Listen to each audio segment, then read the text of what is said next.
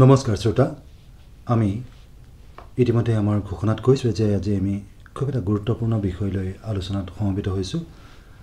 আমি north east agri agriculture technology entrepreneurs hub NEAT hub আমি এইধৰণে কওঁ। আমি উত্তৰ পূব কৃষি প্ৰযুক্তি উদ্যোগী কোষ আমি এইধৰণে কৈছোঁ ইয়াক। সেইটো হৈছে অসম কৃষি বিশ্ববিদ্যালয় যোৰহাটৰ। তাৰ লগত সংলগ্ন এটি সংগঠন। আমি সেই বিষয়ে সবিশেষ গম পাম এতিয়াই। কিন্তু তাৰ আগতে আমি পৰিচয় হৈ লৈছোঁ। আমাৰ ঘোষিকাই ইতিমধ্যে কৈছেই তথাপিও মই বিস্তৃতভাৱে তেখেতসকলৰ পৰিচয় দিছোঁ। মোৰ সৈতে আছে ডক্টৰ কুলোত্তমণি কাৰ্তিকেয়ন। নমস্তে। নমস্তে।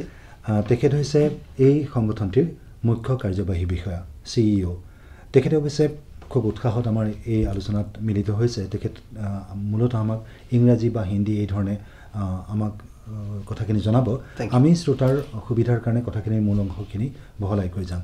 তাৰোপৰি আমাৰ ষ্টুডিঅ'ৰ মাজত আছে ডক্টৰ গিৰীন্দ্ৰনাথ হাজৰিকা। আপোনাক নমস্কাৰ জনাইছোঁ। নমস্কাৰ। আপুনি হৈছে নেট হাবৰ এতিয়া উপদেষ্টা। হয়। আৰু আছে তপন কুমাৰ হাজৰিকা। আপোনাকো নমস্কাৰ জনাইছোঁ। আপুনি এই নেট হাবৰ পৰিচালনা সমিতিৰ সদস্য। সদস্য। গোটেইকেইজনী খুব গুৰুত্বপূৰ্ণ মানে বিষয় বাবদ আছে। আৰু নিৰ্ধাপ কিমান গুৰুত্বপূৰ্ণ আমাৰ হয়তো এঘণ্টাৰ আলোচনাত সেইখিনি কিমান পৰিষ্কাৰ হ'ব সেইটো কিছু সন্দেহৰ বিষয়। কাৰণ ইমান বিস্তৃত তাৰ পৰিসৰ যে এই বিষয়ে বহুত দীঘলীয়াকৈ ধৰা আচলতে আলোচনাৰ স্থল আছে। তথাপিও মই প্ৰথমতে ডক্টৰ হাজৰিকাৰ পৰা আৰম্ভ কৰিছোঁ আপোনাৰ এই নিড হেপ এইটো সম্পৰ্কে অসমৰ মানুহৰ মাজত খুব কম সম্ভেদ আছে। হয়। আমাক নিট হাব কি বস্তু? এই বিষয়ে জনাওকচোন।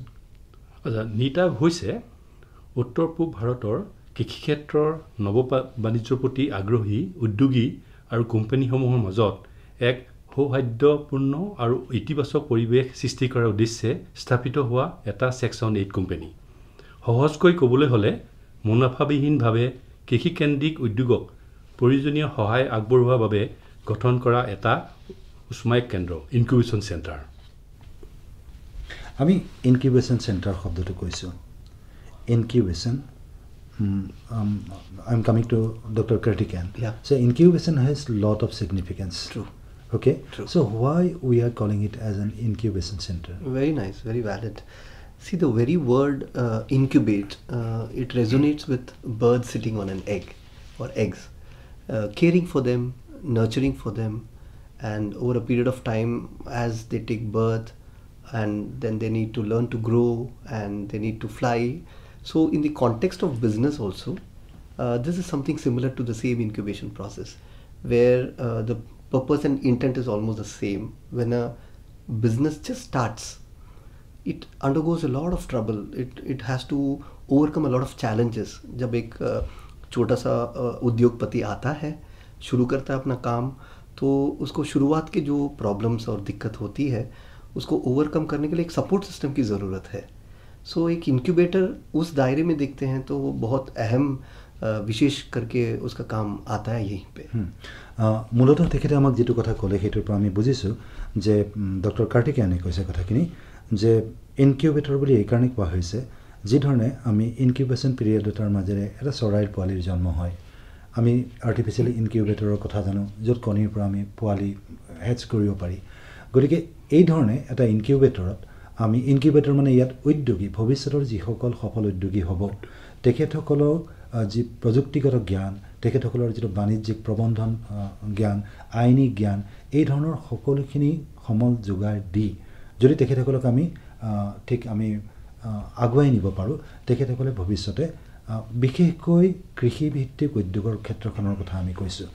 এই আমাৰ গোটেই সংগঠনটোৰ বা আমাৰ গোটেই আলোচনাত কিন্তু এগ্ৰিকালচাৰ টেকন'লজি বেষ্ট তাৰ ওপৰত ভিত্তি কৰি কথাখিনি কোৱা হৈছে। এতিয়া I will come to you later কথা হৈছে কি এগ্ৰিকালচাৰ টেকন'লজি প্ৰথম কথা হৈছে আমি যেতিয়া কওঁ যে কৃষি প্ৰযুক্তি এতিয়া কৃষি প্ৰযুক্তি আমি ইমান দিনে জানো আমাৰ কৃষি ক্ষেত্ৰত আমি দেখিছোঁৱেই যে এন এফ এছ এমৰ দ্বাৰা আমাৰ ইয়াতে অসমৰ বিভিন্ন জেগাত জিলাবিলাকে এগুণৰ পৰা দুগুণ দুগুণৰ পৰা তিনিগুণ তেনেকৈ ধানৰ উৎপাদন কৰিছে মৰাপাটৰ উৎপাদন কৰিছে। অকল অসমত নহয় ভাৰতৰ বিভিন্ন ঠাইতো কৰিছে। আকৌ কৃষি প্ৰযুক্তিৰ বেলেগকৈ শিকোৱাৰ কি দৰকাৰ তেতিয়াহ'লে? আপোনালোকে সাৰৰ কথা কৈয়ে আছে কৃষকক ট্ৰেইনিং দিয়ে আছে। এইটো অকণমান বেলেগ ধৰণৰ কথা। মই সেইটো দিশলৈ যে আমি বহুতখিনি কৰি আছোঁ মানে উৎপাদন বৃদ্ধি কৰি আছোঁ কিন্তু কমাৰ্চিয়েল লেভেল যিটো বস্তু ব্যৱসায়িক ভিত্তিত আমি আগবঢ়াৰ ক্ষেত্ৰত অলপ পিছ পৰি আছোঁ এতিয়াও অসমৰ মানুহখিনি। আৰু মই দেখিছোঁ মই যেতিয়া অসম কৃষি বিশ্ববিদ্যালয়ত গৱেষণা সঞ্চালক হৈ আছিলোঁ আমাৰ বিজ্ঞানীসকলে বহুতখিনি টেকন'লজি উলিয়াইছিলে। আৱিষ্কাৰ কৰিছিলে।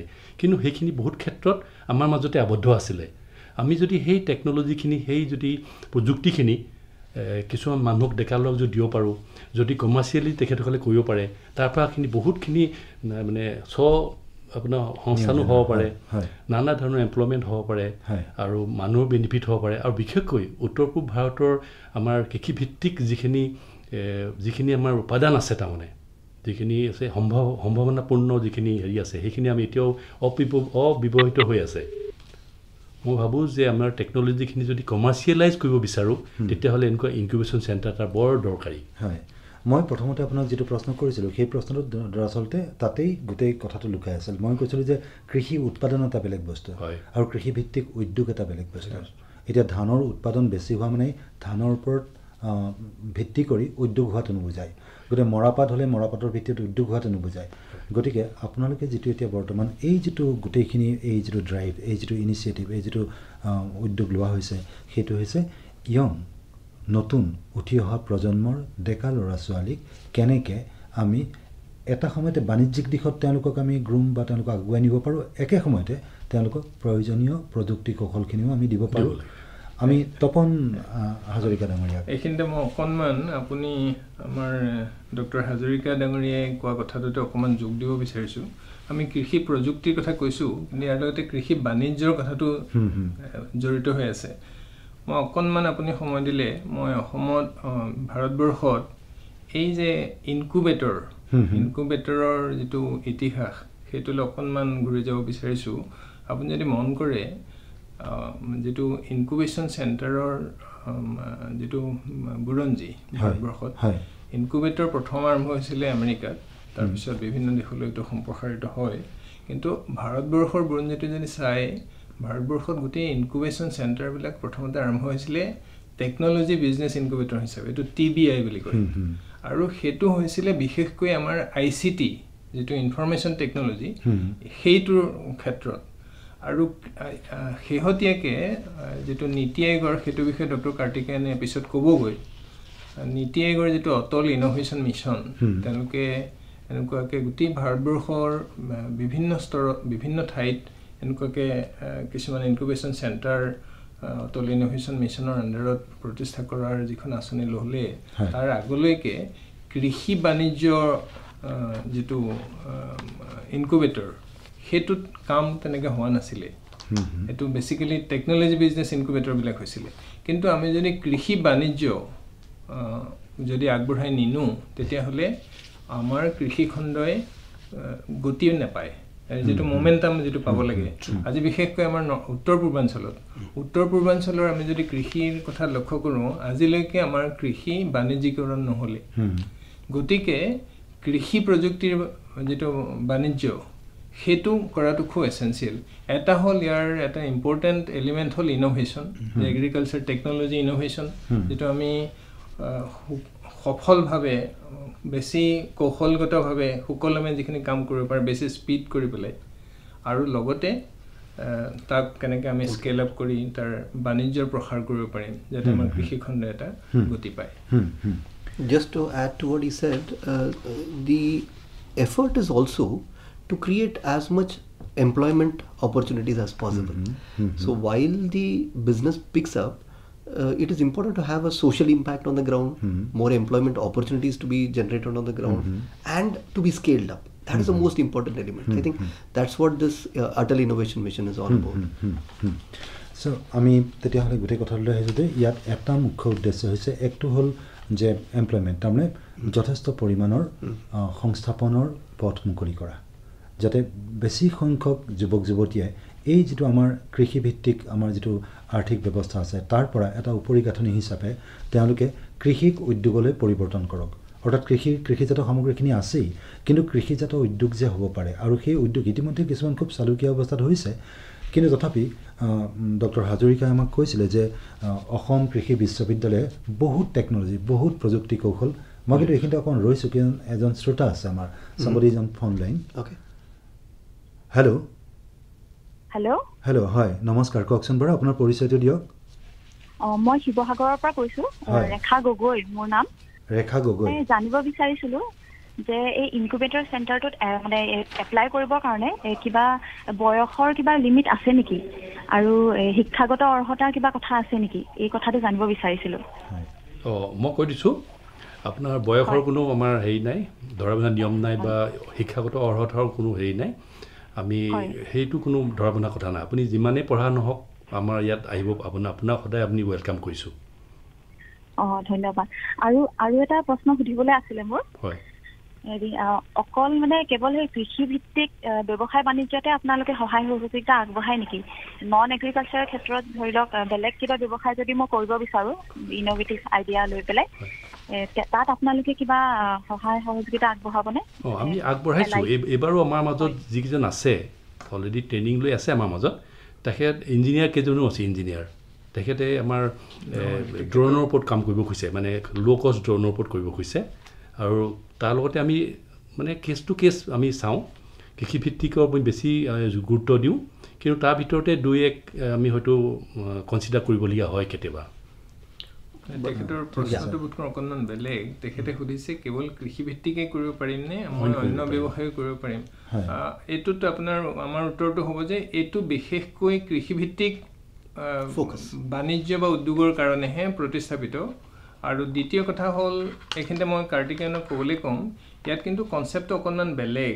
এইটো আমি সাধাৰণ এটা ব্যৱসায় যিটো কৰোঁ সেইটো নহয়। ইয়াত আমি যিটো কৈছোঁ এইটো হ'ল business to business it is not business to consumers এইটো সাধাৰণতে এটা তাত শব্দ আছে এইটো বি টু বি। বা বি টু চি কিন্তু আমাৰ এই গোটেই ইনকুবেশ্যন চেণ্টাৰটোত মূল গুৰুত্বটো হ'ল যে it has to be B to B হয়। আমি সেই সেই ধাৰণাটোৰ ওপৰত আকৌ কথা পাতিম। কিন্তু ৰেখা গগৈয়ে বোধকৰোঁ আমাৰ সংযোগৰ পৰা আঁতৰি গৈছে। কিন্তু তেখেতৰ প্ৰশ্নটোত আপুনি এটা প্ৰসংগ উত্থাপন কৰিছিল যে ড্ৰোন এটা ড্ৰোনৰ ওপৰত এইটো এটা আমি হ'ব পাৰে যে ড্ৰোন এটা যদিও আমি জানো যে ড্ৰোন মিলিটাৰীও ইউজ কৰে ড্ৰোন অন্য ৰিম'ট চেঞ্চিঙত আহিব পাৰে। কিন্তু ড্ৰোন এগ্ৰিকালচাৰতো। একজেক্টলি মই যদি ক'ৰবাত ব্লাষ্ট হৈছে ক'ৰবাত যদি এটা মেচিভ কিবা যদি এটা হেৰি আহিছে লকাছ বা এই ধৰণৰ মানে ডাঙৰকৈ আহি আক্ৰমণ কৰিছে। তেতিয়া আমি ড্ৰোনৰ তাক অবজাৰ্ভ কৰিব পাৰোঁ। গতিকে drone is as good and agricultural instrument আমি ক'ব পাৰোঁ তেনেকৈ যে কৃষি প্ৰযুক্তি। technology, কৃষি প্ৰযুক্তি। গতিকে ড্ৰোনৰ ডেভেলপমেণ্টৰ কাৰণে নিশ্চয় নিধাৱে হেৰি কৰিব ছাপোৰ্ট কৰিব। কথা হৈছে সেইটো ল' কষ্ট হ'ব লাগে। তথাপিও মই আপোনালোকৰ যিকেইটা এৰিয়া জানো তাত আপোনালোকৰ হৰ্টিকালচাৰ উদ্যান শস্য ফ'কাছ এৰিয়া যিকেইটা। হৰ্টিকালচাৰ উদ্যান শস্য লাইফ ষ্টক অৰ্থাৎ পশুধন তাৰপিছত আপোনালোকৰ ফিচাৰিজ আছে তাৰমানে মেইন উদ্যোগটো আছে মীন পালন ফুড প্ৰচেছিং তাৰমানে খাদ্য সামগ্ৰীৰ প্ৰকৰণ বা বৰ important. হা এইটো আছে খুব ইম্পৰ্টেণ্ট সেই বিষয়ে আহিম আমি ছইল কণ্ডিশ্যনিং অৰ্থাৎ ভূমিৰ এইটো কণ্ডিশ্যনিংটো কি ক'ব যে ভূমিক হেৰি কৰি লোৱা কৃষিৰ কাৰণে উপযোগী কৰি সজাই লোৱা। গতিকে ছইল কণ্ডিশ্যনিং নেচাৰেল ফাইবাৰ প্ৰাকৃতিক আঁহ তাৰপিছত টেক্সটাইল আনকি তাৰ আপোনাৰ অৰ্থাৎ কৃষিভিত্তিক টেক্সটাইল যিটো আমি জানো আঁহ আঁহ তাৰ প্ৰতি মেডিচিন আৰু এৰমেটিক প্লেণ্টছ সেইকেইটাও আছে। অৰ্থাৎ ঔষধ পাতিৰ বাবে প্ৰয়োজনীয় যিখিনি আমাৰ গছ গছনি বা হেৰি আছে হাৰ্বছ আছে সেইখিনি আৰু এৰমেটিক যিবিলাক সুগন্ধি দ্ৰব্য প্ৰস্তুত কৰিব পৰা কৃষিজাত সামগ্ৰীৰ পৰা। গতিকে সেইবিলাক আৰু তাৰ লগতে স্মল ফাৰ্ম মেচিনাৰিজ গতিকে এই গোটেইখিনি ব্যাপক বিস্তৃত এটা এৰিয়া গতিকে এইখিনিৰ ভিতৰত আপোনালোকে কৰোঁতে ৰেখা গগৈ কোনোবা নহয় কোনোবাখিনি ঠাইত গৈ পৰিবগৈ? পৰিবগৈ। যিকোনো এটা উদ্যোগকে somehow you can relate it to agriculture somehow correct. Tractor দেখাত খুব মেকানিকেল হেৰিৰ কথা অট'মোবাইলৰ কথা কিন্তু it has lot of significance Yes. To agriculture so' actually basically again we are talking about start up Mm. আমাৰ কিন্তু ফোন এটা আহিছে. Somebody is on line. আমি লৈ লৈছোঁ ফোন হেল্ল' হেল্ল' নমস্কাৰ। নমস্কাৰ হয় আপোনাৰ পৰিচয়টো? দৰং জিলা নেকপৰাগাঁৱৰ নিবেন চৰে ক'লোঁ নৃপেন চহৰীয়া কওক। ইউনিভাৰ্চিটি চেণ্টাৰৰ ক্ষেত্ৰত আমাৰ যিটো মৰাপাট উদ্যোগ হয়। অসমত বিশেষকৈ মৰাপাট উদ্যোগটো এতিয়াতো যথেষ্ট মানে ডেভেলপ হোৱা নাই আৰু বহুত কমি গ'ল যেন দেখিছোঁ। আৰু এই ক্ষেত্ৰত আপোনালোকৰ এই মৰাপাট উদ্যোগটো মানে বঢ়াই নিয়াৰ ক্ষেত্ৰত আপোনালোকৰ কিবা প্ৰচেষ্টা আগবঢ়াবনে বাৰু? মোক সুধিবলগীয়া প্ৰশ্ন এইটোৱে ঠিক আছে ঠিক আছে চহৰীয়া ডাঙৰীয়া। তেখেতে ছাপ'জ আমি হাবৰ কণ্টেক্সটত নিড হাবৰ পৰিপ্ৰেক্ষিতত গোটেই কথাটো পাতিছোঁ। মৰাপাট উদ্যোগক আপোনালোকে আগবঢ়াই দিয়াৰ বাবে ইয়াত কিবা আপোনালোকৰ ব্যৱস্থা আছেনে নিধাৱত এইটো অকল বিশেষকৈ মৰাপাট উদ্যোগ বুলি নহয় যিকোনো ধৰণৰ উদ্যোগেই। এইটো তাৰ ভিতৰত নিশ্চয় মৰাপাতো পৰিব হয়। তেখেতে যদি এটা নতুন ব্যৱসায়িক মানে ধাৰণা লৈ পেলাই। কেনেকৈ এটা আমি নতুন এতিয়া ধৰক আমাৰ প্ৰধানমন্ত্ৰী ডাঙৰীয়াই কৈছে যে আমাৰ প্লাষ্টিক প্ৰদূষণ হৈছে। গতিকে আমি প্লাষ্টিকৰ ব্যৱহাৰ কম কৰিব লাগে আৰু অলপতে হয়তো প্লাষ্টিকৰ ওপৰত তাত নিষেধাজ্ঞা আহি যাব পাৰে। তেতিয়া আমি বহুত আমাৰ যিবিলাক পদ্ধতি। আমি ধৰক ব্যৱহাৰ কৰা যিবিলাক আমি আচবাব বা সেইবিলাক আমি পৰ- পৰিৱৰ্তন কৰিব লগা হ'ব পাৰে। হয়। তেতিয়া হয়তো মৰাপাতে এটা বৰ বিশিষ্ট এখন আসন আজিকালি মৰাপাটৰ পৰা বহুত ধৰণৰ। প্ৰডাক্ট কৰে। তাৰ ভিতৰত ইয়াতে আমি আনকি অলপ আগতে যিখন তালিকাৰ কথা কৈছিলোঁ যে নেচাৰেল ফাইবাৰ আৰু টেক্সটাইল এই মৰাপাট দুয়োটাতে এটা নেচাৰেল ফাইবাৰ Nat- এটা নেচাৰেল ফাইবাৰ হ'ল first of all and again uh, it can be it can be mo- most probably in some uh, cases like in some countries like bangladesh they've taken some initiative to you know uh, create fine textile from uh, jute Correct. uh, so এইবিলাক কথাও আছে uh, now um, uh, this person is uh, Nripen Shaharia he was specially interested in jute jute okay. so so uh, uh, do you have anything for jute actually that was his question Okay. so broadly what we are giving um, the answer from us Is that jute it is not about jute only It's not about it is jute. it is across all all natural fibers True. all sorts of agri based uh, but while i'm speaking actually somebody is more call. online again Okay. hello hello' হয় নমস্কাৰ কওকচোন বাৰু নমস্কাৰ নাই incubator সম্বন্ধে আপোনালোকৰ বৰ্তমান পদক্ষেপত আপোনাৰ কোনবোৰ ষ্টেপ লৈছে আহ, আপোনাৰ নামটো জানিম নেকি মৃদুল কুমাৰ গগৈ শিৱসাগৰৰ নামটি পৰা কৈছোঁ ঠিক আছে মৃদুল কুমাৰ গগৈ শিৱসাগৰ নামটি নামটি হয় incubator वर्तमान की पर जा in what at what stage the incubator is steps okay what steps it is taking uh, most probably uh, what is the stage it is uh, in right now right now okay mm. so um, as dr kartik nabunjani hindi ko है हाँ, मुझे बेसी श्रोता है yes yes yes ज़रूर ज़रूर मैं हिंदी में बताता हूँ ताकि उनको भी समझ में आ जाएगा uh, जैसा कि हमने पहले बताया है ये uh, north east agri technology entrepreneurs hub ये जो असम एग्रीकल्चर यूनिवर्सिटी के अंदर हमने ये जो इनक्यूबेटर रजिस्टर किया ये सिर्फ़ पिछले साल रजिस्ट्री हुआ है। इस साल के शुरुआत में करीब मार्च में हमको फंड्स मिला है और तब से लेके अभी तक हमने जो स्टेप्स लिया है वो रिक्रूटमेंट का प्रोसेस वगैरह करके बेसिक स्टाफ मेंबर्स को रख के हम लोगों ने अभी दो कदम उठाए हैं।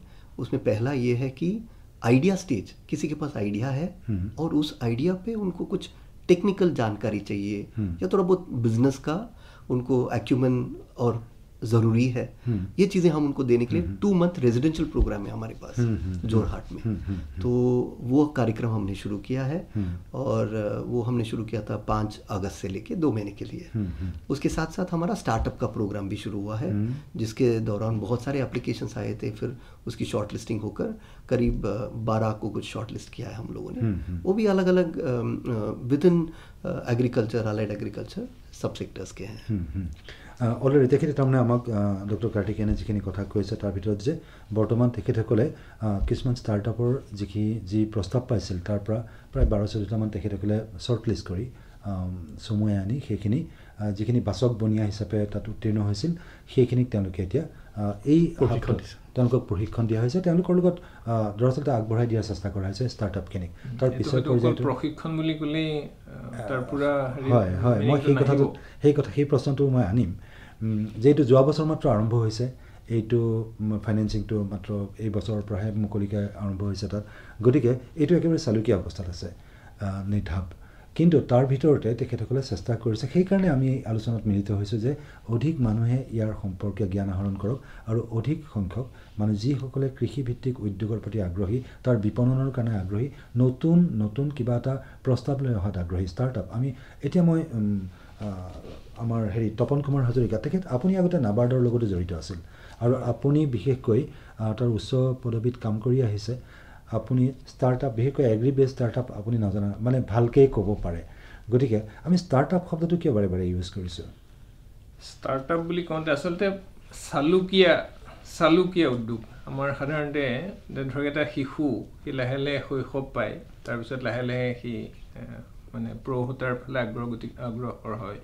এতিয়া ভাৰতবৰ্ষ ভাৰতবৰ্ষ আমাৰ ভাৰত চৰকাৰে নতুনকৈ যিটো ষ্টাৰ্টআপ মিছন আৰম্ভ কৰিছে তাত তেওঁলোকে ষ্টাৰ্টআপৰ ডেফিনেশ্যন দিছে।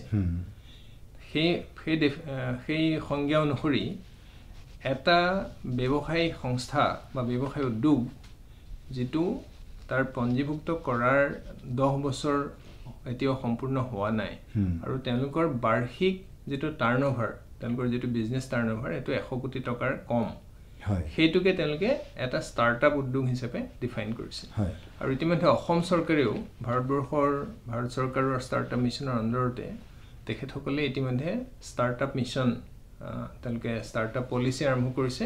আৰু তেওঁলোকে ষ্টাৰ্টআপ দি নেক্সট বুলি এটা। চৰকাৰী এটা ইনকুবেটৰ ইতিমধ্যে স্থাপন কৰিছে। কিন্তু আমাৰ ইনকুবেটৰৰ সৈতে ডিফাৰেঞ্চ এইটোৱে হ'ব যে আমাৰটো সম্পূৰ্ণৰূপে আমাৰ দৃষ্টিটো কৃষিভিত্তিক মানে কৃষি প্ৰযুক্তি উদ্যোগ। হয়। যিটো আছাম দি নেক্সট তেওঁলোকৰ ফ'কাছটো কেৱল মাত্ৰ কৃষিভিত্তিক উদ্যোগ নহয়। হয় হয় হয়। তেওঁ- তেওঁলোকে সাধাৰণতে যিকোনো বাণিজ্যিক অথবা ইণ্ডাষ্ট্ৰিয়েল হয়। উদ্যোগিক বা বাণিজ্যিক দিশত তেওঁলোকে ষ্টাৰ্টআপত আৰু এটা কথা আছে এটা নিউ কনচেপ্টৰ দৰকাৰ। দৰাচলতে ষ্টাৰ্টআপ বুলি ক'ব যাওঁতে একচুৱেলি ছামথিং ইন'ভেটিভ কিবা এটা। মই নতুন ধৰণে এটা নতুন মানে ঠিক মই আগৰ কিবা এটা মডেলৰে কপি কৰি কৰা নাই নহয় গতিকে মোৰ গোটেই কথাটোত কি- কিবা এটা নভেলটি লাগে মানে উম, কিবা ধৰণৰ যে এটা নতুন something new should be there Uh, see, if you were to look at it, see, there is a lot of misconception between what is a startup and where does an entrepreneur fit in, and how is an entrepreneur different from a small business. अगर हम इसको इस परिभाषा में देखते हैं तो एक स्टार्टअप टिपिकली एक यंग कंपनी होता है जो किसी एक या दो ऑन्टरप्रनर ने शुरू किया होता है उनके पास एक यूनिक प्रोडक्ट या कोई यूनिक सर्विस इस पे फोकस करते हैं। एंड उसका नेचर ही ऐसा होता है उस तरीके का बिज़नेस का नेचर ही ऐसा होता है कि उनके पास पैसे बहुत कम होते हैं।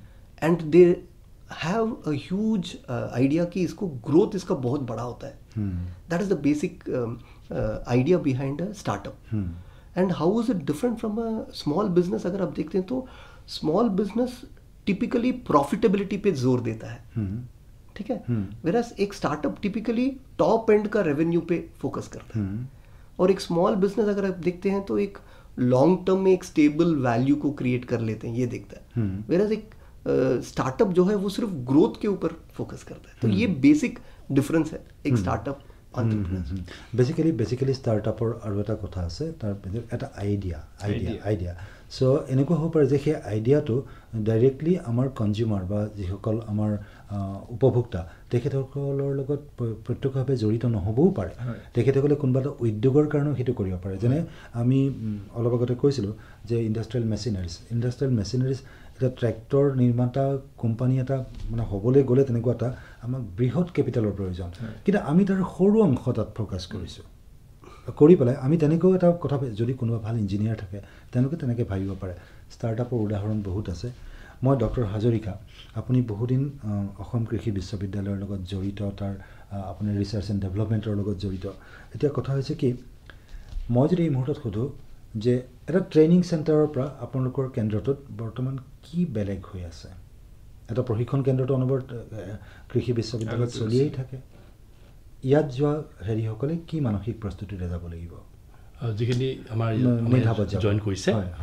এতিয়া আপুনি আগতেই কৈছোঁ যে এইটো উদ্যোগৰ কথা লৈ আছে বাণিজ্যিক। আগতে যিখিনি ট্ৰেইনিং লৈ আছে আমি ট্ৰেইনিংটো দিওঁ। ট্ৰেইনিং লৈ পেলাই তেখেতসকলে উদ্যোগ কৰিছে নে নাই আমি গম নাপাওঁ। কিন্তু এতিয়া আমি যিটো কৰিছোঁ তেখেতসকল মাতি আনি তেখেতসকলৰ যিটো নিজৰ এটা হেৰি আছে আইডিয়া আছিলে। সেই আইডিয়াটো কেনেকৈ উদ্যোগ গঢ়ি গঢ়িব পাৰিব সেই ওপৰত আমি জোৰ দিছোঁ। তাৰমানে তেখেতসকলক যিটো জ্ঞান লাগে ধৰক বিত্তীয় হওক বা বাণিজ্যিক হওক বা মাৰ্কেটৰ কাৰণে বা তেখেতসকলক আমি হেণ্ডছ অন ট্ৰেইনিং দি পেলাই সহায় কৰিছোঁ যাতে তেখেতে প্ৰেক্টিকেলি সেইটো উদ্যোগ হিচাপে গঢ়ি তুলিব পাৰে। এইটো চিম্পল ট্ৰেইনিং নহয়। আগতে বহুত ট্ৰেইনিং চলি আছিল বছৰ বছৰ ট্ৰেইনিং দি আছিলোঁ। কিন্তু সেই ট্ৰেইনিঙৰ পৰা কোনো আমি হেৰি নাপাওঁ। আউটকাম নাহে ট্ৰেইনিংটো আপুনি ফাৰ্মাৰক ট্ৰেইনিং দিয়ে সেইবিলাকৰ ফিছ ফাৰ্মাৰক কিন্তু এতিয়া। স্পেচিফিকেলি তাৰমানে আমি কমাৰ্চিয়েলাইজেশ্যনৰ কাৰণে গৈছোঁ উদ্যোগৰ কাৰণে গৈছোঁ বাণিজ্যিকৰ কাৰণে গৈছোঁ বাণিজ্য কাৰণে যিটো হেৰি ঠিকে ঠিকে সংস্থাপন। আমাৰ তপন হাজৰিকা ডাঙৰীয়াই কৈছিলে যে এইটো যে কৃষি ক্ষেত্ৰটোৰ পৰা উদ্যোগলৈকে এটা বিৰাট উত্তৰণ সেই উত্তৰণটোত পাৰ্টিচিপেট কৰা মানুহৰ। সংখ্যা কম গতিকে আপোনালোকে এতিয়া মূলতঃ সেইখিনি মানুহৰ সেইখিনি অকণমান আপুনি ডক্টৰ। হাজৰিকাই কোৱা কথাখিনিতে যোগ দিব বিচাৰিছোঁ আৰু বিশেষকৈ মোতকৈ মই ডক্টৰ কাৰ্তিকেয়নক আহ্বান জনাম যাতে তেখেতে এই কথাখিনি কয়। ইনকুবেটৰ চেণ্টাৰ যিটো সেইটো আচলতে কেৱল প্ৰশিক্ষণেই নহয় ইট ইজ চামথিং মোৰ Exactly. মই যে ক'লোঁ এটা আপুনি তেখেতে ক'লে য়ং উদ্যোগ য়ং উদ্যোগ। য়ং ইণ্ডাষ্ট্ৰী বা য়ং এণ্টাৰপ্ৰিনাৰ তেওঁক এটা বেবী তাক আমি ডাঙ- ডাঙৰ কৰি হাতত ধৰি. তাক খোজকাঢ়িবলৈ শিকাই তাক আগবঢ়াই লৈ যাব লাগিব। সেই গোটেই কামখিনি ইনকুবেটৰে কৰিব লাগিব. এইটো তাক নাৰ্চাৰ কৰিব লাগিব। এতিয়া ষ্টাৰ্টআপৰ ক্ষেত্ৰত আপুনি মই এটা পৰিসংখ্যা আপোনাক দিব বিচাৰিম। আপুনি যদি ষ্টাৰ্টআপৰ ছাৰ্ভাইভেল ৰেট চাই হয়। এইটো হতাশজনক। আই থিংক 95% আমাৰ ডক্টৰ বিবেক অবেৰয় আমাৰ নীতি আয়োগৰ তেখেত সদস্য প্ৰাইম মিনিষ্টাৰ এডভাইজৰী কাউন্সিলৰো অধ্যক্ষ। তেখেতে কৈছে যে ninety five percent dies. Or every 195. আৰু আপুনি ভাবক যে উত্তৰ পূৰ্বাঞ্চলৰ নিচিনা অসমৰ নিচিনা এটা ঠাইত। হয় আমি আপোনাৰ কথাখিনি আধৰুৱা কৰিছোঁ কাৰণ প্ৰশ্ন এটা আহিছে আমি সেইটো লৈ লৈছোঁ। হেল্ল' হয়। হয় নমস্কাৰ আপুনি কওকচোন নামটো কওক। বাক্সা জিলাৰ তামোলপুৰৰ পৰা অনিল দাসে ক'লোঁ। অনিল দাস বাক্সা কওক। ছাৰ তামোলপুৰখন আপোনালোকে জানেই যে ভূটানৰ একেবাৰে নিয়াৰেষ্ট মানে ওচৰ অঞ্চল হয়। হয়। গতিকে আমাৰ তামোলপুৰটো তামোলপুৰৰ এটা কিংবদন্তি বেলেগ বেলেগ আছে। তথাপিও তামোলপুৰটো তামোল তামোলৰ কাৰণে বিখ্যাত এইটো ময়ো জানো। তামোল যথেষ্ট উৎপাদন হয়। আৰু আমাৰ তামোলপুৰৰ পৰা যথেষ্ট কমলাও উৎপাদন হয়। তাৰপিছত আনাৰসো হয়। আৰু এনেকৈ বহুত কেইটা উৎপাদন আছে। হয়। কিন্তু আমাৰ ইয়াত তামোলপুৰত কিন্তু সেনেকুৱা ধৰণৰ কৃষিভিত্তিক উদ্যোগ নাই। গতিকে আমাৰ ইয়াত যদি মই বা আমাৰ আমাৰ ডেকা ল'ৰাবিলাকে যদি কৰিব বিচাৰে কেনেকুৱা ধৰণৰ কৃষিভিত্তিক উদ্যোগ হ'ব পাৰে? এইকেইটাৰ এগ্ৰি এগ্ৰি মানে product- গম পাইছোঁ। মিষ্টাৰ দাস আপোনাৰ তামোলপুৰৰ অঞ্চলটো চাই পেলাই তাৰ উপযোগীকৈ এইটো কৰিব লাগিব। আৰু একে সময়তে আমি যিটো ইনকুবেশ্যন চেণ্টাৰৰ কথা কৈ আছোঁ ইয়াৰ কাৰণে আটাইতকৈ ডাঙৰ কথা হ'ল এটা বিজনেছ আইডিয়া আপুনি যিয়ে কৰিব খোজে আপুনি আজি কমলাৰ কথা কৈছে আপুনি মাটি কঁঠালৰ কথা কৈছে তামোলৰ কথা কৈছে সেই উৎপাদনখিনিক লৈ আমি কেনেকৈ এটা বৃহৎ উদ্যোগ প্ৰতিষ্ঠা উদ্যোগ স্থাপন কৰিব পাৰিম আৰু সেইটো কৰিবলৈ যাওঁতে এইটো আমাৰ সাধাৰণতে বেকৱাৰ্ড লিংকেজ বা ফৰৱাৰ্ড লিংকেজ কয়।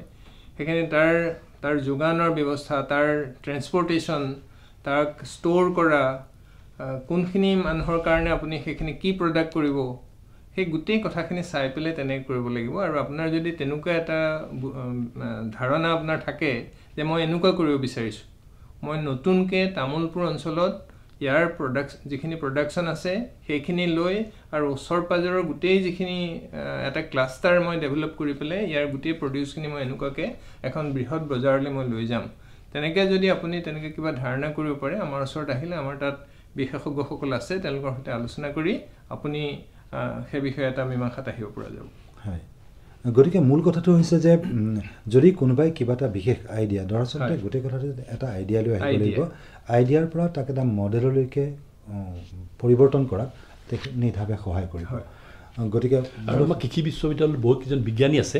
আমাৰ বিজ্ঞানীসকলেও অলপ সহায় কৰি দিব এনেকুৱা ধৰণৰ যদি কিবা তেওঁলোকৰ চিন্তা লৈ আহে কোনোবাই। তেখেতে তেখেতসকলৰ হয়তো টেকন'লজি নাথাকিব পাৰে। কিন্তু আমি হয়তো আমাৰ চাইণ্টিষ্টসকলেও বহুতখিনি ক্ষেত্ৰত তেনেকুৱা টেকন'লজি দি দিয়ে হয় আমি অনিল দাসৰ প্ৰশ্নটো তেখেতৰ ফোনটো অহাৰ আগলৈকে আমি সেই কথাখিনি পাতি আছিলোঁ যে। ইনকুবেটৰে কিখিনি সাহাৰ্য দিব। কি কি দিব পাৰে এতিয়া মই কৈছিলোঁ যে ষ্টাৰ্টআপবিলাকৰ তেওঁলোকৰ জীৱন ৰেখা জীৱন মানে আয়ুস ৰেখাদাৰ বৰ দীঘল নহয়। সোনকালে মৰি যায় আৰু আমাৰ অসমৰ নিচিনা ঠাইত য'ত আমাৰ সকলো ফালে প্ৰতিবন্ধকতাৰে ভৰা আমি লাইচেঞ্চ লোৱাৰ পৰা আৰম্ভ কৰি তাৰ পঞ্জীয়নভুক্ত কৰা এটা কোম্পানী ৰেজিষ্ট্ৰেশ্যন কৰা তাৰপিছত তাৰ যিবিলাক ৰিকুৱাৰমেণ্টছ আছে সেই গোটেইবিলাক তাৰপিছত কেনেকৈ এখন এক্সপৰ্ট লাইচেঞ্চ উলিয়াব পাৰিব তেওঁ কি কি তেওঁৰ উৎপাদনৰ পদ্ধতিৰ বা প্ৰযুক্তিৰ জ্ঞান আছে নাই সেই গোটেইবিলাক সেৱা তেওঁলোকক মানে ইনকুবেটৰে তেওঁক বাদ দেখুৱাই লৈ যাব। সেইখিনি মই ডক্টৰ কাৰ্তিকেনক অনুৰোধ কৰিম। ইনকুবেটৰে বিশেষকৈ কোনখিনি সেৱা এজন ইনকুবেটিক. হয়। প্ৰদান হয় কৰিব। Basically we have another call Yeah, sure. Hello' হয় নমস্কাৰ। নমস্কাৰ আপোনাৰ পৰিচয়টো দিয়ক। হয় মই দৰং জিলাৰ কেন্দুগুৰিৰ পৰা ক'লো কুলদীপ। কুলদীপ? শৰ্মা। কুলদীপ শৰ্মা কওক। হয়। তাৰমানে মই ছাৰক এটা প্ৰশ্ন দিব বিচাৰিছিলোঁ। হয়। হয় তাৰমানে বৰ্তমান দিনত এই প্লাষ্টিকৰ যিটো প্ৰ- প্ৰসাৰতা সেইটো কমিব বুলি আমি শুনিছোঁ আৰু চৰকাৰে এটা ভাল পদক্ষেপ ল'ব এইটো। আৰু ইয়াৰ ফলত নিশ্চয় আমাৰ বাঁহগছ আৰু মৰাপাত আদিৰ পৰা সৃষ্টি হোৱা কাগজ আৰু যিবিলাক মৰাপাতৰ মোনা আছে এইবিলাক নিশ্চয় বেছিকৈ মানে চলিব আৰু চাহিদা বৃদ্ধি হ'ব। ইয়াৰ পৰা যিবিলাক উদ্যোগ গঢ়ি উঠিব পাৰে তাৰ বাবে আমি বিশেষকৈ আগ্ৰহী। আৰু আপোনালোকৰ পৰা আমি কেনেধৰণৰ পৰামৰ্শ পাম তাকে জানিব বিচাৰিছোঁ। মিষ্টাৰ শৰ্মা এতিয়া চাগে আমি এই চমু আলোচনাত আপোনাক গোটেইখিনি কথা ক'ব নোৱাৰিম গতিকে মই আপোনাক অনুৰোধ জনাওঁ যে আমাৰ অসম কৃষি বিশ্ববিদ্যালয়ৰ চৌহদত আমাৰ যিটো নিট। ই হাব বুলি যিটো ইনকুবেশ্যন চেণ্টাৰ স্থাপিত হৈছে তাৰ কৰ্মকৰ্তাসকলৰ সৈতে আপুনি যোগাযোগ কৰিব আৰু তেখেতসকলে আপোনাক এই দিশত অধিক দিহাবুদ্ধি প্ৰদান কৰিব। তেখেতে ইতিমধ্যে এটা নতুন আইডিয়াৰ অকণমান ঠিক আৰম্ভণি এটা তেখেতৰ। হৈছে যে প্লাষ্টিক যদি বেণ্ড হৈ যায় প্লাষ্টিকৰ প্ৰদূষণৰ কাৰণতে যদি আমি প্লাষ্টিক বেণ্ড কৰোঁ তাৰ এটা সেই যিটো ভেকুৱাম হ'ব সেইখিনি খালী ঠাই পূৰণ কৰাৰ কাৰণে আমাক অল্টাৰনেটিভ কিবা দৰকাৰ হ'ব চ' তেওঁ ভাবিছে। তেওঁ বেম্বো ফাইবাৰৰ কথা ভাবিছে জুট ভাবিছে জুট বহুত আগতে ব্যৱহাৰ হৈছে কিন্তু তাক আজি প্লাষ্টিকৰ. ছাবষ্টিটিউট হিচাপে ব্যৱহাৰ কৰিবলৈ। হয়।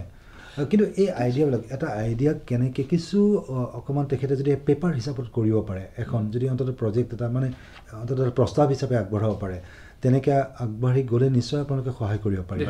নহয় জানো? আৰু সেইটোৰে উদ্দেশ্য ইনফেক্ট এইটো কাৰ্তিকেনে ক'ব আমাক প্ৰজেক্টটো নালাগে। আমাক মাত্ৰ আইডিয়াটো লাগে। তেওঁৰ সপোনটো তেওঁ কি সপোন দেখিছে সেই সপোনটো আমাক ক'ব লাগে। সেই সপোনটো যদি আমি ভাবোঁ যে সপোনটো সাকাৰ কৰা সম্ভৱ হ'ব আৰু এই আইডিয়াটো কালিলে যেনেকে আমি হালদিৰাম হালদিৰাম এটা এই চানা ভুজিয়া বেচা তেনেকুৱা এটা মানুহ আছিলে। কিন্তু হালদিৰামে আজি গোটেই ভাৰতবৰ্ষত এখন তাৰ হালদিৰাম সাম্ৰাজ্য প্ৰতিষ্ঠা কৰিলে। আৰু কেনেকুৱাকে ডাইভাৰ্চিফাই কৰিছে? Starting from sweet many other Very products. true. Sir, if you look at that, even uh, uh, our own homegrown product of Jorhat, everyday masala, started in a small little lady's house. उन्होंने अपने घर पे बनाना शुरू किया। वो मसाला बहुत बहुत प्रसिद्ध हो गया। फिर उन्होंने उसका पैकिंग उस टेक्नोलॉजी पे काम किया। वो बी टू सी से ही शुरू किया। आज B to B to C तक कर रहे हैं वो लोग। मतलब it it will require a little difference in investment पर वो पूरा सप्लाई चेन रेडी नहीं है आज। बट कोई तो ऑन्टरप्रिनर चाहिए। हम्म, जो ये बैक एंड में लिंक करने को और मार्केट के साथ जोड़ने के लिए। हम्म, सो वो धैर्य और वो साहस जो रिस्क टेकिंग एबिलिटी चाहिए वो टिपिकली एक ऑन्टरप्रिनर के पास होता है। They have a fantastic idea पर हाँ। बेसिकली आपने जो कहा है actually I am not very good at Hindi actually Sure, sure, sure, please, I am trying to I am trying to anyway बताना मुझे ये है कि जो आपने जितना जैसा रिक्वायरमेंट जैसा. पर्सनैलिटी जैसा पर्सनल स्किल्स ऐसा लेके एक्चुअली आप लोगों ने कोई एज बार यहाँ नहीं नहीं रखा।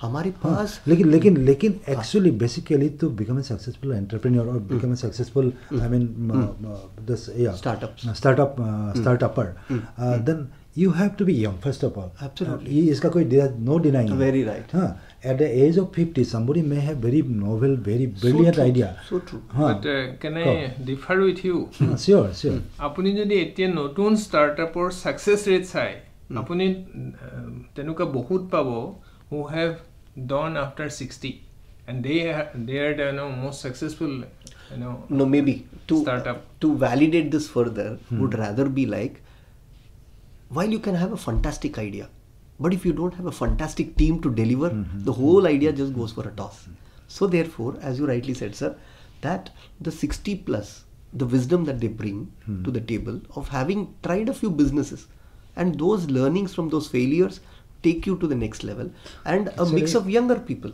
কিন্তু একে. সময়তে মই আপোনাৰ যিটো আপুনি যিটো পৰ্যবেক্ষণ পৰ্যবেক্ষণ। সেইটো মই নুই নকৰোঁ য়ং বা ইয়থ হেজ. এন এডভান্টেজ সেইকাৰণে আমি ক'ম যে it is not only age.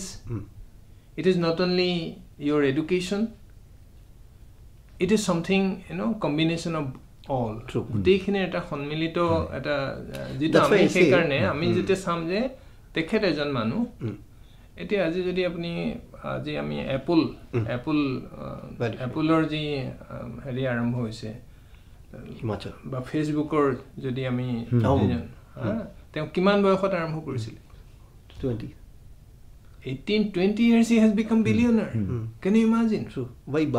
Agarwal U গতিকে সেইবিলাক- সেইবিলাকতো হৈছে মানে বহুত বেছি হেৰি নহয় idea। নহয় ইট ইজ পচিবল Possible, অসমতো নহয়, সম্ভৱ নিশ্চয়, হ'ব পাৰে নিশ্চয় possible। গতিকে হ'ল আমি এইটোৱে বিচাৰিছোঁ যে তেওঁৰ এটা বিজনেছ আইডিয়া তেওঁৰ এটা সপোন সেইটো লৈ পেলাই তেওঁ আমাৰ ওচৰত আহক আৰু আমি যদি দেখোঁ যে it is a fantastic idea he can scale Zenit তেতিয়াহ'লে আমাৰ আমাৰ হাতত এইখিনিতে আৰু এটা ফোন কল আহিছে আমাৰ ফোনটো লৈছে.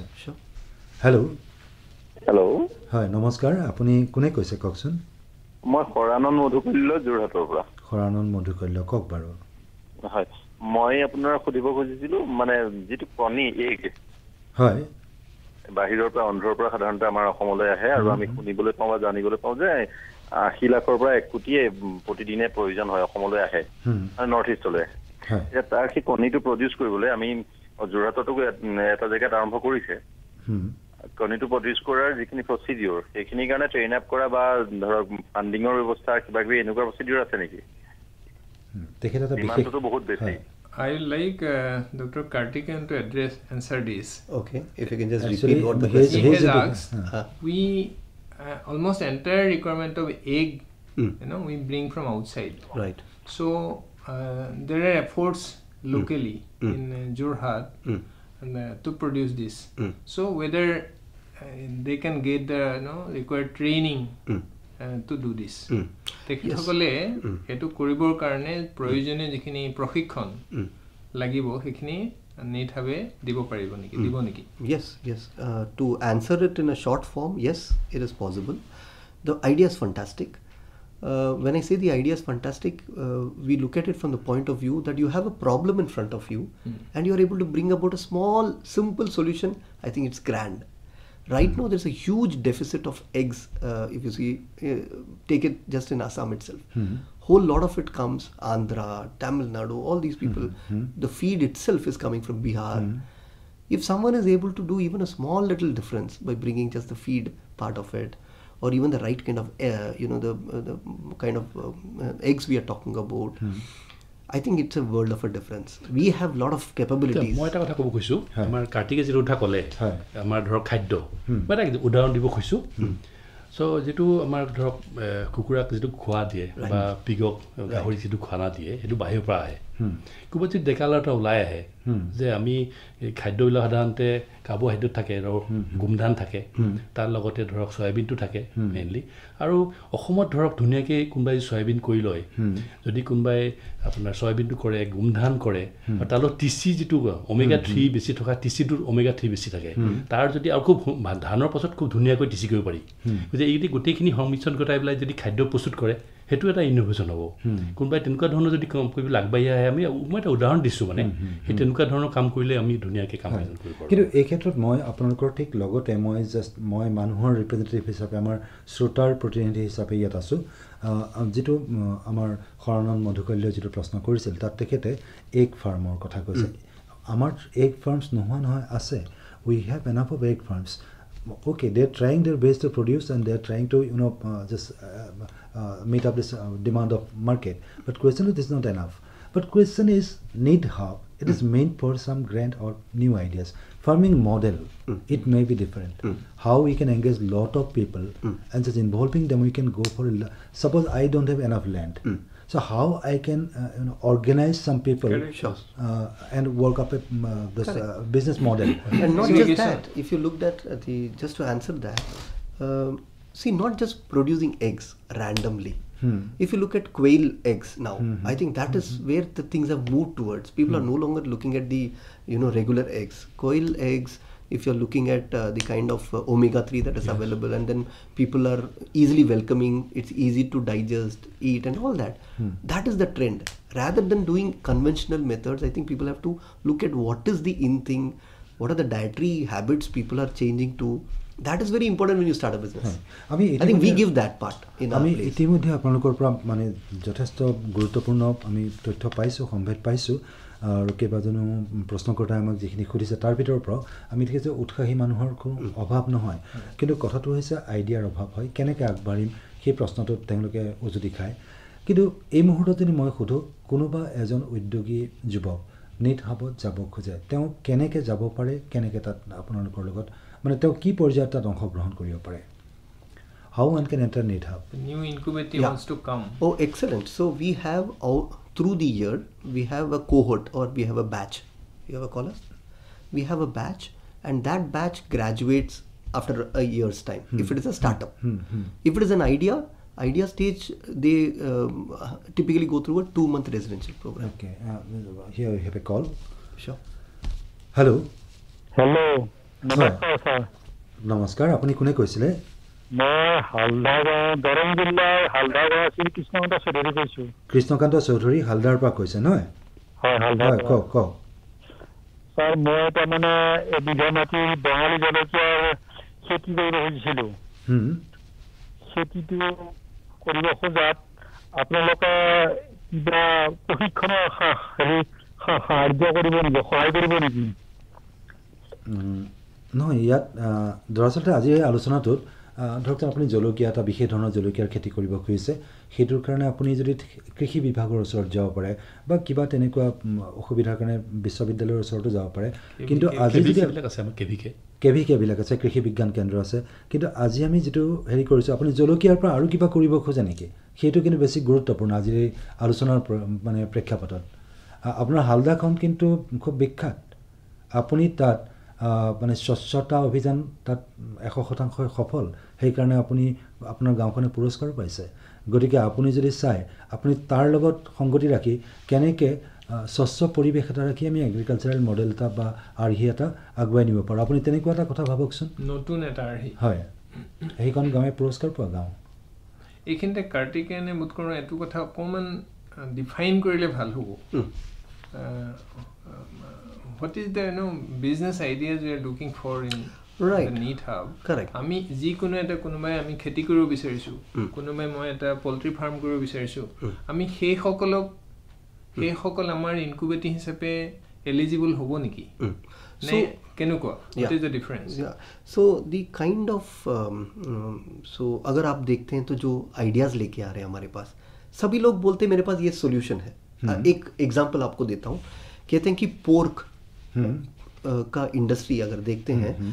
उसका डेफिसिट बहुत बड़ा है। इतना बड़ा है कि अगर तीन गुना भी अगर प्रोड्यूस हम कर लें तब भी वो डेफिसिट में रहेगा। हम्म, इतना शॉर्ट सप्लाई में है। हम्म। But to meet that demand अगर सभी लोग सिर्फ़ पोर्क फार्म करने लगे तो वो भी एक सोल्यूशन नहीं हुआ right what are they doing to be able to generate something at the back end उनसे लिया कुछ प्रोसेस किया कुछ आगे किया।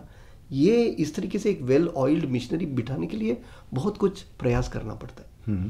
और अगर आप आज देखते हैं तो हर कोई किसी के पास जाते हैं तो हमारे पास आके सोल्यूशन बोलते हैं I want to set up a pig farm. But that is yet another small business for hmm. अगर आप देखते हैं तो उस डेफिनेशन में। फिट नहीं होता है वो। तो हम चाहते हैं कि सोल्यूशन के बजाय आप पहले प्रॉब्लम स्टेटमेंट को पकड़ो। किस प्रॉब्लम को एड्रेस कर रहे। हैं जैसा इसके पहले किसी कॉलर ने बताया प्लास्टिक का प्रॉब्लम है। It's a huge problem for such a huge problem if you bring a small solution also it will make a big difference to a lot of people hmm. हम उस तरीके का कोई तकनीक देख रहे हैं हम्म। आपको अगर एक एग्जांपल ऐसा दूँ तो किसी ने मशरूम के बारे में बोला mushroom is I think very popular. People are trying to do lot of things around it. कोई फोर्टिफिकेशन कर रहे हैं उसमें हम्म। कोई पर्टिकुलर एंजाइम पर्टिकुलर विटामिन। ये जो कमी है उसको पूरा करने के लिए हम्म। किसी को डायबिटीज़ है। Can we do something that will be able to bring about some dietary you know efficiency better effective. कर सकते हैं। That is what we are looking at. कोई प्रॉब्लम स्टेटमेंट को नहीं देख रहा है सीधा सोल्यूशन पे आ रहे हम्म, हैं फिर हम्म। ढूंढ रहे हैं कौन सा प्रॉब्लम को वो एड्रेस कर रहे हैं আহ, চ- তাৰমানে তেখেতে যিটো কৈছে যে আহ, বজাৰত মাত্ৰ যোগান আৰু চাহিদাৰ অংকটোৰ ভিতৰত থাকি যেনেকৈ পেগাৰীৰ কথা কৈ আছে যে বজাৰত গাহৰিৰ যথেষ্ট ডিমাণ্ড আছে গাহৰিৰ মং মঙহৰ কিন্তু সেই হিচাপে আমাৰ সেইটো মিট আপ নহয় আমাৰ গতিকে মই সেই খালী ঠাইখিনিত আহিব খোজোঁ এইটো এটা ট্ৰেডিশ্যনেল বা কনভেনশ্যনেল বা পৰম্পৰাগত আইডিয়া এইটো যে এখন ফাৰ্ম খুলিম তাৰ আমাৰ হেৰিত প্ৰয়োজন আছে কাৰণে কিন্তু তাৰ বাহিৰেও যিবিলাক নতুন চিন্তা যেনে ধৰকচোন আমি আমি যদি যিটো পেষ্ট মেনেজমেণ্ট আমি কীট পতংগ নিয়ন্ত্ৰণৰ কাৰণে কি পাৰোঁ আমি? ভোট জলকীয়াৰ পৰা আৰম্ভ কৰি বহুত কথাই চিন্তা কৰিব পাৰোঁ যে আমি বান্দৰে বহুত খেতি নষ্ট কৰিছে। আমি দেখিছোঁ এটা অঞ্চলত যে বান্দৰৰ কাৰণে কোনো খেতি বাতি নহয়। এতিয়া এইটো নিয়ন্ত্ৰণৰ কাৰণে আমি কিবা নতুন ধৰণৰ আইডিয়া বা সকলোৱে কিবা ধৰণৰ নহয় কিবা ধৰণৰ ব্যৱস্থা লৈছে। কিন্তু এই ব্যৱস্থাবিলাকৰ এটা সংগঠিত ৰূপত অহা নাই। যদি কোনোবাই সেইটোও লৈ আহে আপুনি আগতে কৈছে নতুন চিন্তা নতুন এটা idea I think innovation is ষ্টাৰ্টআপৰ ডেফিনেশ্যনৰ লগত এই ইন'ভেশ্যনৰ কথাটো আছে। হয় সেইটো বিজনেছ মডেলৰ ইন'ভেশ্যন হ'ব পাৰে প্ৰডাক্টৰ হ'ব পাৰে প্ৰডাক্ট টেকনিকৰ হ'ব পাৰে অথবা চাৰ্ভিচিঙত হ'ব পাৰে।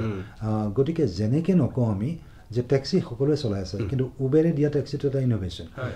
এই ধৰণৰ কথাবিলাক যাতে একে টেক্সিকেই লৈ বিজনেছ কৰিছে এতিয়া যদি মই কওঁ যে মই বেংকৰ এটা লোন লৈ এখন টেক্সি চলাম that is not a item or activity সেইটো এটা মানে উদ্যোগ নহয় যিটো আমাৰ নিটভাৱে ছাপোৰ্ট কৰিব। কিন্তু যদি মই কওঁ যে মই এনেকুৱাকৈ মই এটা এপ লৈ পেলাই। এই যিটো উবেৰ বা ওলাই যিটো কৰিছে। সেইটো এটা বিজনেছ মডেল। সেইটো আইডিয়া সেইটো এটা আহ, নিটভাৱে গ্ৰহণ কৰি পেলাই তেওঁলোকক আগবঢ়াই লৈ যাবৰ কাৰণে উপযোগ্য উপযুক্ত এটা আইডিয়া या এইখিনি इसको মো- एक ही दूसरी तरीके से आप अगर बोले किसी और का पैसा ठीक है हम्म। किसी और का सामान হুম, और इन्होंने एक डिफरेंशिएटर कोई लेके आए हैं जिसके वजह से प्रॉफिटेबिलिटी मैक्सिममाइज करते हैं इम्पैक्ट मैक्सिमम करते हैं स्केल दो गुना करते हैं चार गुना दस गुना करते हैं that is the difference Ola का अगर मॉडल देखते हैं या उबर का देखते हैं टैक्सी वो एक भी ओन नहीं करता है।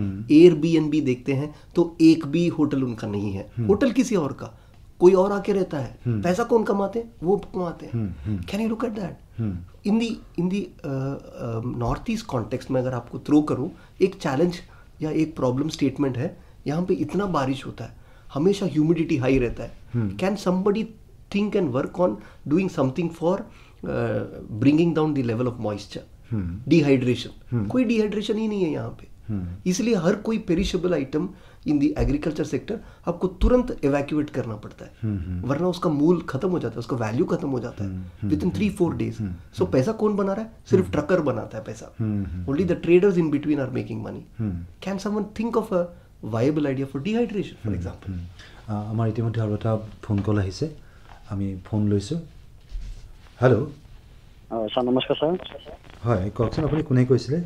হয় মই বাক্সা জিলাৰ টকানাটৰ পৰা সঞ্জিত দাই কৈছোঁ সঞ্জীৱ ডেকা বাক্সা জিলাৰ পৰা কওক। হয় হয়। মানে উদ্যোগ বুলি ক'লেতো মানে গাঁৱৰ পিনে সকলোৱে কৰিব বিচাৰে। কিন্তু কি ধৰণৰ উদ্যোগ কৰিব এইটো মানে বুজি নাপায়। মানে এইটো আপোনালোকে যেনে আহি পেলাই বস্তুখিনি কি কি বস্তু আছে এইটো ভালকে জানি শুনি মানে যেনে আগবঢ়াই দিয়ে। মানে একজনক ভালকে কৈ দিয়ে। ঠিক তেনেকে আগবাঢ়ি যাব পাৰিব কিন্তু মানুহখিনি ওলাই আহিব মানে সেই পায়। সিহঁতে নাজানে না কোনটো উদ্যোগ কৰা ভাল বা কি আগবঢ়া ভাল। হয় ডেকা ধন্যবাদ আপোনাৰ প্ৰশ্নটোৰ কাৰণে। আমাৰ এটা ব্যৱস্থা ইতিমধ্যে সেইটো ভবা হৈছে যে আমাৰ নিট হাবৰ উদ্যোগত বিভিন্ন অঞ্চললৈ গৈ পেলাই তেনেকৈ কিছুমান আপোনালোকৰ যিবিলাক আইডিয়া আছে সেই আইডিয়াবিলাকৰ ওপৰত আলোচনা কৰি তাৰ আপোনালোকৰ এইটো আমি ৰোড শ্ব' বুলি কওঁ। ৰোড শ্ব' বা তেনেকুৱা আইডিয়াৰ কম্পিটিশ্যন তেনেকুৱা কিছুমান প্ৰচেষ্টা লোৱা হ'ব। যাৰ যোগেদি এনেকুৱাকৈ এটা কৃষি প্ৰযুক্তিৰ দিশত এটা বিপ্লৱ সূচনা কৰিব পৰা তেনেকুৱা যিবিলাক আইডিয়া হ'ব সেইবিলাকক আমি তেওঁলোকক ছাপৰ্ট কৰি আগবঢ়াই লৈ যোৱাৰ কাৰণে তেনেকৈ ব্যৱস্থা কৰিম। হয়। সঞ্জীৱ ডেকাৰ কথাটোত এটা হেৰি আছে যে দৰাচলতে কোনোবা এটা যদি ওলাই অহা এজন ব্যক্তিকহে নিৰ্ভাৱে সহায় কৰিব পাৰে। গৈ পেলাই ঠিক প্ৰাইমেৰী লেভেলৰ পৰা তেওঁক গ্ৰুম কৰা সেই ব্যৱস্থাটো ইয়াত নাই। ইয়াত হৈছে কি মোৰ ওচৰত কিবা এটা প্ৰস্তাৱ আছে। মোৰ ওচৰত এটা নতুন এটা উদ্ভাৱন এটা আছে বা আইডিয়া এটা আছে। গতিকে মই গৈ তাক আৰু বিকাশ কৰি লওঁ। আমি কথা পাতি থাকোঁতে কিন্তু আমাৰ সময় কমি আহিছে।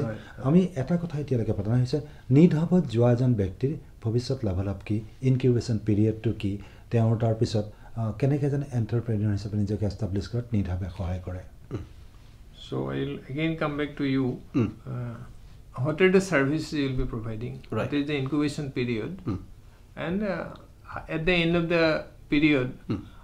at the time of uh, beginning what he will be Mm. and when you will leave him Mm. at that point of time what he will be Okay. Mm, just to kickstart his uh, something what he is Exactly. proposing him to Exactly. uh, how how you can what do we help do? him yeah. So, uh, once someone comes to us with wanting to start a company as a startup, speak in hindi. हाँ, अगर कोई आता है हमारे पास अपना अ, एक entrepreneur बनते हुए आइडिया हो या उसका कंपनी रजिस्ट्रेशन हो वहाँ से जब शुरू होता है जैसे तपन हजारिका साहब ने और डॉक्टर हजारिका ने बताया शुरुआत की जो दिक्कतें होती है जो मुश्किलें होती है उसका सामना उनको खुद करना उसमें बहुत पैसा लगता है। वो सारी सर्विसेज़ हम देते हैं जैसे legal service administrative services registration of a company for example या उन्होंने रजिस्ट्रेशन किया तो डायरेक्टर को क्या कंप्लाई करना पड़ेगा? वन वो कॉल एंड अगर ये चीज़ें उनको शुरुआत की चीज़ें उनके मुश्किलें हटा देते हैं क्योंकि उनका ध्यान पूरा कंपनी चलाने पे रहना चाहिए। जो उनका सोल्यूशन है उस पे उनको देना चाहिए। तो जिस दिन वो हमारे पास आके इंक्यूबेट हो जाते हैं हम एसेस करते हैं वो किस स्टेज में है। और उनको कौन से कौन से चीज़ों की मुश्किलें वो सामना कर रहे हैं। उसका लिस्ट बनाते हुए उसके सर्विसेज़ जो उसके लिए हम हर इंक्यूबेटी के लिए अलग अलग कस्टमाइज करके देंगे। That is the beauty of our incubator generally generally average incubation period one year है सर ट्वेल्व मंथ्स है सर ताकि वो one year is a good enough time कि कोई अभी सितंबर में आए अगले सितंबर में चले जाएँगे। That is good enough time for और ग्रेजुएशन जाने का जाने का तो वक्त he क्या मिलता है? हाँ हाँ क्या मिलता है? क्या मिलता है? तो शुरुआत में हमने जैसे ये सर्विसेज़ दिया then we are trying to help them pilot या प्रोडक्शन उसकी करना है। तो किस तरह से उसका एक मिनिमम वायबल प्रोडक्ट बनता है उसका प्रोटोटाइप बनाया वो गो टू द मार्केट किसी को इंट्रोड्यूस कैसे करते हो? We teach them all these little little soft skills छोटे छोटे स्किल्स होते हैं प्रेजेंटेशन करने की है, ये सारे में हम उसको मदद करके by the end of those twelve months we make them completely standing on their own feet to the extent that they start from अगर वो एक बेटर स्टार्ट से शुरू करते हैं they are suddenly better position after one years time when they are going out based on a business plan they are all eligible with an upper limit we have an eligibility that they can go for seed capital of twenty five lakh rupees और mm, in This लोगों is को all. Stipend भी मिलते हैं नहीं वो stipend का programme जो है वो आइडिया स्टेज का प्रोग्राम है क्योंकि वो बिल्कुल आइडिया पे है और वो आइडिया को काफ़ी फाइन ट्यून करना है इसलिए वो टू मंथ रेजिडेंशियल प्रोग्राम पे ten thousand rupees per month का एक विशेष प्रोग्राम है department of agriculture R K V Y का प्रोग्राम है আমি একে সময়তে তেওঁলোকক আৰু কেইটামান ছাৰ্ভিচ দিয়া হ'ব এটা হ'ল নেটৱৰ্কিং উম, তেওঁলোকক আমি ধৰক ইনকুবেটৰৰ পিনৰ পৰা ভাৰত চৰকাৰৰ যি সাহাৰ্য টুৱেণ্টি ফাইভ লাখ দিলোঁ সেইটো চাফিচিয়েণ্ট নহয় হি উইল ৰিকুৱেৰ তেওঁলোকক আৰু যথেষ্ট ফাণ্ড দৰকাৰ। তেতিয়াহ'লে আমি তেনেকুৱা এনেকুৱা বহুতবিলাক আজিকালি অনুষ্ঠান আছে যিবিলাকে এনেকুৱা নতুন ষ্টাৰ্টআপ বা এনেকুৱা কোম্পানী তেওঁলোকে ইনভেষ্ট কৰে। আমি সেই ইনভেষ্টৰ যিবিলাক নেটৱৰ্ক তাৰ লগত তেওঁলোকক আমি পৰিচয় কৰাই দিম বা তেওঁলোকক লগ কৰাই দিম। আৰু আমি তেওঁলোকক তেনেকুৱা ইনভেষ্টমেণ্ট তেওঁলোকৰ উদ্যোগটো গঢ়ি তোলাৰ কাৰণে যিখিনি প্ৰয়োজন হয় সেইখিনি পোৱাটো আমি ফেচিলিটেট কৰাম। আৰু একে সময়তে ইনকুবেশ্যন পিৰিয়ডটো তেওঁলোকক ইভেন ইনকুবেশ্যন চেণ্টাৰত অফিচ স্পেচো যাক যাক প্ৰয়োজন হয় দিয়া হ'ব। আৰু এইটো নহয় যে এক বছৰ ইনকুবেশ্যন পিৰিয়ড মানে তেওঁলোকে এক বছৰ তাত গৈ পেলাই কলেজ বা ইউনিভাৰ্চিটিত পঢ়াৰ দৰে গৈ পঢ়িব লাগিব। তেওঁলোকৰ প্ৰয়োজন সাপেক্ষে. তেওঁলোকক কেনেকুৱা ধৰণে আমি তাৰ লগত ইণ্টিগ্ৰেট কৰি ৰাখিম তাৰ কাৰণে ব্যৱস্থা কৰা হ'ব। যাতে তেওঁলোকে সেই সময়খিনিত নিজৰ উদ্যোগ বা নিজৰ ব্যৱসায় প্ৰতিষ্ঠান তেওঁলোকে চলাইও থাকিব পাৰে। হয়। এতিয়া ইয়াত ইয়াত নেট হাবত উম, মই ট্ৰেইনি বুলিয়ে কৈছোঁ বাৰু এই মানে তেওঁলোকক যিসকলে ইয়াত অংশগ্ৰহণ কৰিব খোজে তেওঁলোকৰ নিজা কিবা আৰ্থিক কিবা হেৰি সংযোজনৰ দৰকাৰ আছে নেকি? কিবা মাচুল দিব লাগে নেকি? বা এই ধৰণৰ কথা আছে নেকি? তাতে এটা নমিনেল মাচুল থাকিব কিন্তু একে সময়তে আমি চেষ্টা কৰি আছোঁ যাতে আমি সেই সময়খিনিত তেওঁলোকক কিবা এটা ষ্টাইপেনো দিয়াৰ ব্যৱস্থা কৰিব পাৰিম। সেইটো কাৰণে অসম চৰকাৰৰ লগত যোগাযোগ কৰা হৈছে। আমি এটা প্ৰস্তাৱ দিছোঁ যে এটা মুখ্যমন্ত্ৰীৰ এটা বিশেষ বানচ বা মুখ্যমন্ত্ৰীৰ বিশেষ স্কলাৰশ্বিপ এটা প্ৰগ্ৰেম আমি যদি কৰিব পাৰোঁ। তেতিয়া ধৰক আমি এই ইনকুবেশ্যন চেণ্টাৰৰ যোগেদি আমাৰ বিশেষকৈ আমাৰ যিসকল জনজাতীয় যুৱক বা আমাৰ যিসকল মহিলা তেখেতসকলকো আমি বিশেষ অগ্ৰাধিকাৰ দিয়াৰ ব্যৱস্থা কৰিছোঁ। গতিকে সেইসকলৰ কাৰণে এটা স্কলাৰশ্বিপ স্কিম হয়। ইণ্ট্ৰডিউচ কৰিবৰ কাৰণে ব্যৱস্থা কৰ- হয়। মানে আহ, এতিয়া প্ৰচেষ্টা কথা চলাই হৈছে থকা কি হৈছে। এইটো আমাৰ আমাৰ যিটো যোৰহাটৰ যিটো কেন্দ্ৰ সেই কেন্দ্ৰটো আমাৰ ঠিক অসম বা উত্তৰ পূৰ্বাঞ্চলৰ যিসকল এপ্লিকেণ্ট তেওঁলোকৰ কাৰণে প্ৰযোজ্য নে কোনোবা এজনে তামিলনাডুৰ পৰা আহি কেৰেলাৰ পৰা আহি ইয়াত যোগ দিব পাৰে নে এইটো বিশেষকৈ উত্তৰ পূৰ্বাঞ্চলৰ কাৰণে হয়, হয়। অসম আৰু উত্তৰ পূৰ্বাঞ্চলৰ যি আঠখন আহ, ৰাজ্য আছে হয় হয় তেওঁলোকৰ কাৰণে And you'll be very happy to know that uh, we are al- also supporting establishment of three agri-business incubators, one each in Mizoram, in Tripura, and in Arunachal Pradesh. Hmm. These are focusing on different areas: hmm. horticulture. Hmm. One is focusing on fisheries. One is focusing on veterinary sciences. So we are already hand-holding them. We are also one of the MOU partners here with the Assam Nest, helping them in putting up uh, agri-based uh, startups. We also have an MOU with uh, KIT, which is an incubation center in uh, Bhubaneswar, Odisha. So there's a lot of lot happening around this, and we would genuinely like to create this entire Northeast, the venture habitat which is missing. We want to create that. হয় mister কাৰ্তিকেয়ানে যিটো কৈছে আমাক যে এই এই যোৰহাটৰ এই কেন্দ্ৰটো অতি চালুকীয়া আৰম্ভ হৈছে মাত্ৰ কিন্তু এইখিনি সময়ৰ ভিতৰতে do we have any success story within this little period no actually we have just started আমি মাত্ৰ যোৱা. আগষ্ট মাহত এই যিটো আই ডি এ ষ্টেজৰ প্ৰথমটো দল যিটো আহিছে এইখিনিতে মই আৰু এটা কথা উল্লেখ কৰিব বিচাৰোঁ হাব বা অসম কৃষি বিশ্ববিদ্যালয় ইনকুবেটৰ এইটো বিশেষকৈ ভাৰত চৰকাৰৰ নীতি আয়োগৰ অটল ইন'ভেশ্যন মিছনৰ প্ৰাথমিক যিটো সাহাৰ্য দহ কোটি টকাৰ এটা. সাহাৰ্য প্ৰদান কৰিছে সেইটোৰ যোগেদি আৰম্ভ হৈছে। কিন্তু একে সময়তে ভাৰত চৰকাৰৰ কৃষি মন্ত্ৰালয়ে তেওঁলোকৰ যিটো ৰাষ্ট্ৰীয় কৃষি বিকাশ যোজনা তাৰ অন্তৰ অন্তৰ্গত তেওঁলোকে এটা নতুনকৈ প্ৰগ্ৰেম আৰম্ভ কৰিছে। কৃষি উদ্যোগীসকলক সহায় কৰিবৰ কাৰণে ৰাফ্টাৰ বুলি। সেই। ৰাফ্টাৰ আঁচনি তেওঁলোকে